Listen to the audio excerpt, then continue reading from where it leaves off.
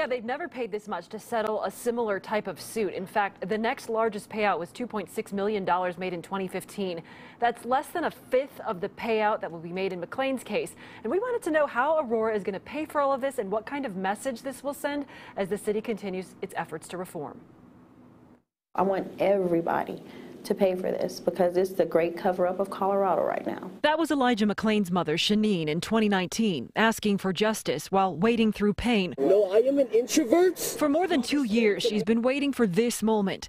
The city of Aurora will pay out $15 million to settle the federal lawsuit she filed in 2020. That's more than all other settlements combined paid out by Aurora since 2010.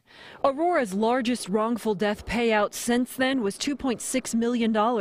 It went went to the state of Naeschylus Vinzant after an officer shot and killed the unarmed man. In 2018, the city paid out $1.5 million for another deadly police shooting to the estate of Richard Black.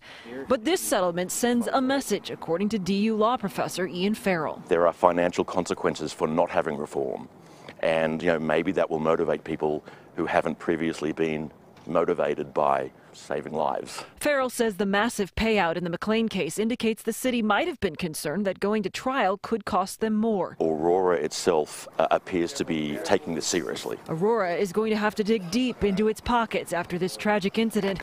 After paying a sort of deductible from its risk management fund, city officials say liability insurance coverage kicks in. But that only covers up to $10 million for police related claims from 2019.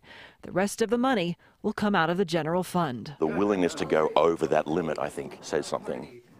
Now, to give you an idea, Denver's largest law enforcement payout so far was $6 million in 2014 for a jail death. And for context, the settlement of the George Floyd death was $27 million. In the case of Breonna Taylor, who was shot and killed during a no-knock warrant in Kentucky, that settlement was $12 million. This Elijah McClain settlement is still not finalized, though. There is another meeting about it scheduled for tomorrow, and there has been a lot of back and forth between the attorneys representing each of McClain's parents on how the payout might be distributed.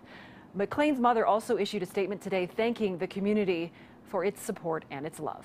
I'm Lori Jane Gliha, Fox 31. All right.